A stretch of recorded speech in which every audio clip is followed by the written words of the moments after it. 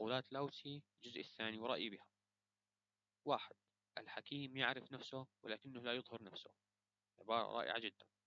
اثنين الذي يعرف الآخرين حكيم والذي يعرف نفسه مستنير. وهذه مقولة جدا عظيمة لأنها تدعو الواحد لأهمية أنه يعرف نفسه ويكون متفكر ومتأمل ثلاثة من يتعالى ينخفض مية بالمية. عشان الواحد مش لازم يغتر بحاله أبدا. أربعة أكبر الجرائم إثارة الحسد. فعلا الحسد سيء جدا. وخمسة خطة الحكيم في أن يعمل لا في أن يتعارض. مية بالمية مليئة بالحكمة هاي العبارة لأنه التعارف يعني إضاعة للوقت.